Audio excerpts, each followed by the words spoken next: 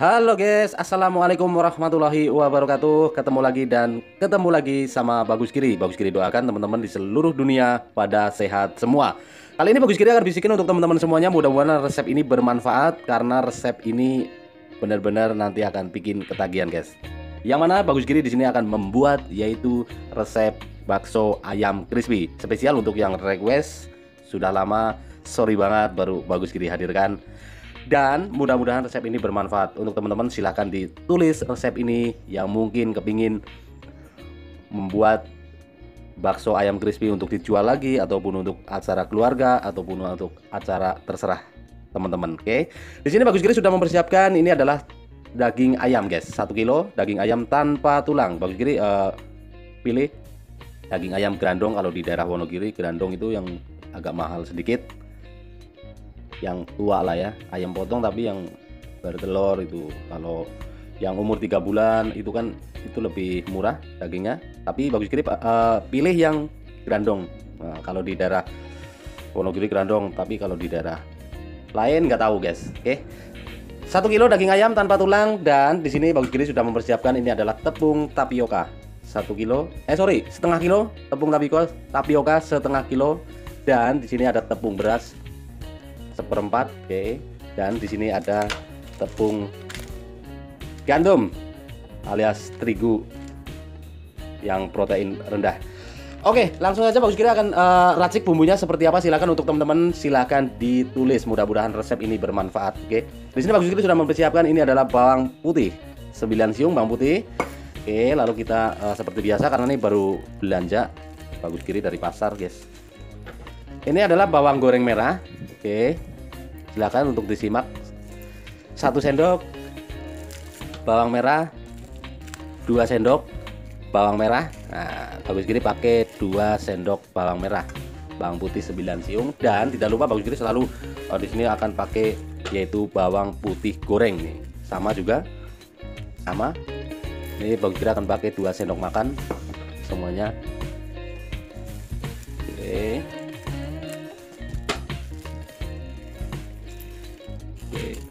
lalu kita bisa tambahkan. Nah ini harus pakai ini juga biar nanti rasanya akan benar-benar ketagihan. Lada bubuk guys. Oke. Satu sendok makan lada bubuk. Kita bisa tambahkan lagi. Jadi dua sendok makan lada bubuk.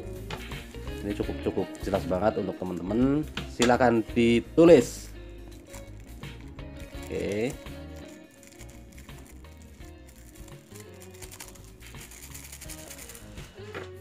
Oke, ini lada bubuk 2 sendok, bawang merah goreng 2 sendok, bawang putih goreng 2 sendok dan bawang mentah 9 siung, guys. Kita masih akan tambahkan lagi yaitu bumbunya bumbu kaldu, guys. Karena ini uh, pakai daging ayam jadi bagus kiri di sini akan pakai kaldu rasa ayam, guys. Oke.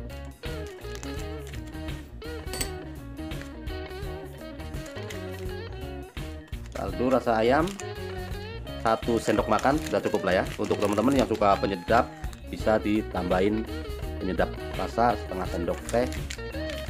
Oke ini adalah kaldu ayam. Oke kaldu ayam. Habis itu dipakai satu sendok makan kaldu ayam. Dan kita bisa tambahkan garam. Kalau misalnya tidak pakai garam tidak enak. Kita pakai garam juga. Satu sendok setengah garam Oke. Oke, bumbunya sudah siap. Nah, masih ada yang ketinggalan, guys. Kita akan kasih yang namanya perenyah, tapi tidak pakai pengenyal karena ini pakai uh, tahu crispy. Uh, sorry, bakso ayam crispy. Jadi bagi kita akan pakai perenyah, perenyah bakso. Pakai perenyah bakso, masih seperti biasa. Bagus kiri pakai andalannya yaitu so bakso. Nah, nih bagi kiri pakai satu sendok pernya oke. Mungkin di tempat lain uh, cuman beda merek saja. Pernya ataupun pengenyal cuman beda merek lah ya. Oke satu sendok. Bumbunya sudah jadi guys. Sekarang tinggal bagus kiri akan ke tempat penggilingan karena deket. Nih. Ini bumbunya ini daging ayamnya dan nah ini bagus kiri yang akan uh, digiling yaitu ini. Nanti yang lainnya tidak akan digiling. Kita lihat saja lah ya video ini sampai selesai biar tidak salah paham ataupun gagal paham lah ya. Kebanyakan yang nonton di skip jadi tanya-tanya mulu tapi nggak apa-apa. Yang komentar terima kasih. Berarti sudah peduli sama bagus kiri. Oke. Sekarang tinggal kita pergi ke tempat penggilingan. Oke untuk uh, cara menggilingnya nggak usah di video nggak apa-apa lah ya. Yang penting ini sudah jelas. Oke untuk yang uh, bertanya itu kok selalu nggak ada yang namanya uh, air takaran air membuat baksonya Bang Giri nah di sini Bang Giri akan jelaskan untuk teman-teman semuanya jadi untuk uh, cara menggilingnya bakso kita nggak pakai air di rumah jadi uh, yang ngatur airnya yaitu tukang gilingnya di situ. Jadi sudah apal, sudah pinter, sudah ahli cara mengatur air kalau sekilo segini. Nah, yang ngatur airnya yaitu tukang giling baksonya, guys. Oke. Dan kita kasih tip untuk teman-teman kalau misalnya mau bikin bakso yang agak lembek adonannya ataupun akas. Akas itu enggak enggak terlalu lembek. Tinggal bilang saja mas akas ataupun setengah agak keras sedikit ataupun yang tambahin biar lembek. Nah tinggal bilang saja sama tukang penggilingan lah ya. Kalau yang gilingnya pakai blender sendiri di rumah itu sudah nggak tahu saya ya yang penting intinya di sini bagus kiri akan uh, bisikin untuk cara membuat bakso ayam crispy guys. Oke? Jadi untuk air yang ngatur tukang giling baksonya. Oke sekarang tinggal bagus kiri akan ke tempat penggilingan akan menggilingkan yang ini. Satu dua tiga nih. Yang lainnya seperti tepung beras tidak akan digiling. Kita simak saja. Kita akan ke tempat penggilingan. Oke guys, sekarang Bagus Giri sudah pulang dari tempat penggilingan nih. Sekarang mau pick proses selanjutnya. Ini tadi uh, Bagus Giri gilingkan di tempat penggilingan dan ini Bagus Giri uh, gilingnya akas guys. Akas itu tidak lembek lah ya. Karena ini uh, mau digoreng. Oke, seperti ini. Ini adalah akas kalau di daerah Wonogiri akas itu apa ya? Ini tidak terlalu lembek tidak lembek lah ya intinya tidak terlalu banyak airnya seperti ini oke oke sekarang tinggal kita kasih tepung beras. Nah ini ini uh, bagi kiri tidak pakai tepung beras. Terserah untuk tepung beras mereknya terserah teman-teman guys. Oke. Oke, sekarang tinggal kita kasih di sini. Oke, bagus kiri pakai seperempat nih tepung beras. Tepung beras. Lalu kita bisa tambahkan.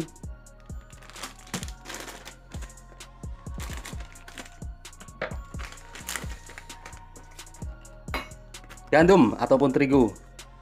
Satu, dua, tiga, empat. Sendok gandum ataupun terigu. Kalau di kampung terigu kalau di kota biasanya gandum. Oke sekarang tinggal kita uleni dulu kita campurkan tepung beras dan tepung gandum ataupun terigu agar tercampur di sini guys. Oke. Lalu tinggal kita goreng.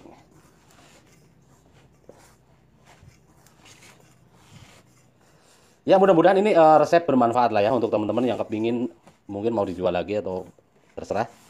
Oke. yang penting intinya di sini uh, bagus gini bisikin resep bakso ayam crispy guys nah ini sudah tidak lembek. Oke.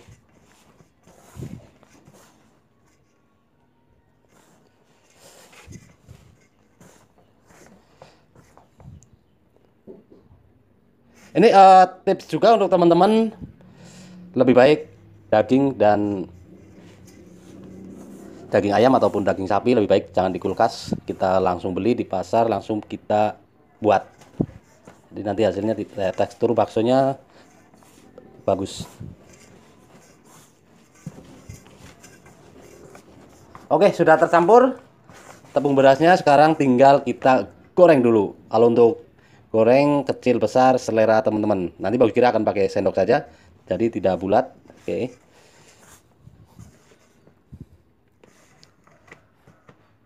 Oke, nih. Sudah tinggal kita goreng guys. Oke, sekarang tinggal kita goreng dulu. Oke kita masukkan minyaknya.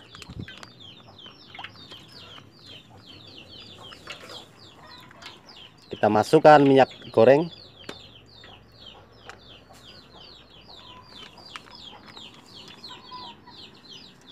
Oke kita tunggu dulu untuk panas minyaknya lalu kita akan goreng bakso ayamnya.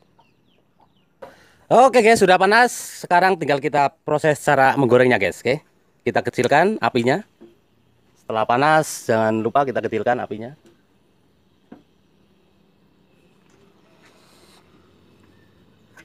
Cara menggorengnya seperti ini.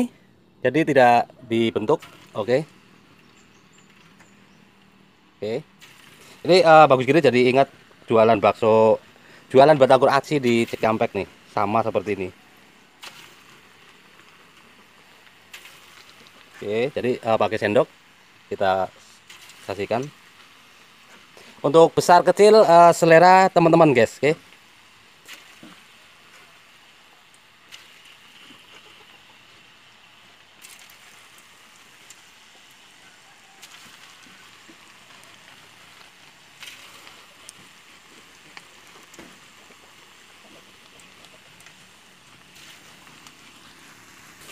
Oke, kita udak-udak seperti ini. Oke. Jangan lupa apinya kita kecilkan dulu. Kita kecilkan saja lah ya. Biar benar-benar matangnya sempurna dan keringnya juga bagus nanti. Oke. Oke guys, sudah cukup seperti ini saja. Ini sudah kering. Nih, benar-benar sudah kering banget. Oke, lalu kita goreng lagi. Oke, nih sudah benar-benar cantik banget. Oke, jadi uh, ini uh, peluang usaha juga untuk teman-teman silakan yang mau dijual lagi. Yang penting intinya di sini bagus kiri bisikin resepnya guys. Mudah-mudahan bermanfaat lah ya. Oke. Oke, kita goreng lagi. Untuk api kita kecilkan.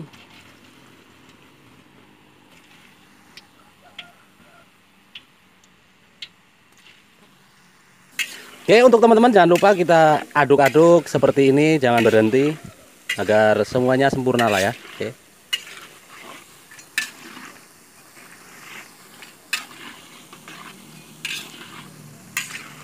Oke, jadi pada saat uh, memasukkan kita kecilkan benar-benar apinya. Kalau sudah masuk semua seperti ini, kita besarkan lagi apinya. Lalu jangan lupa di udak-udak guys seperti ini.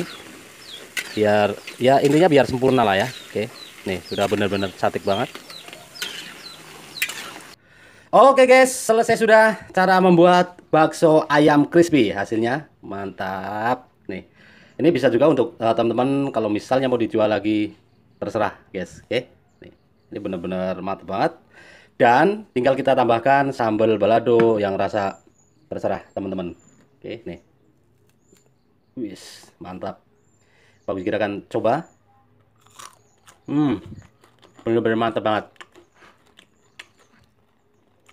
Bakso ayam crispy sudah jadi guys. Oke. Siap untuk dijual ataupun untuk acara terserah teman-teman. Oke cukup uh, di sini untuk teman-teman yang belum subscribe ke channelnya Bagus Giri silahkan subscribe karena subscribe itu gratis. Aktifkan lonceng agar yang pertama mendapatkan notifikasi terbaru ataupun resep terbaru dari Bagus Giri. Share untuk orang-orang yang membutuhkan silahkan di share, like jika suka kalau misalnya tidak suka tidak apa-apa lah ya. Intinya di sini Bagus Giri memberikan resep untuk teman-teman semuanya. Mudah-mudahan resep ini bermanfaat.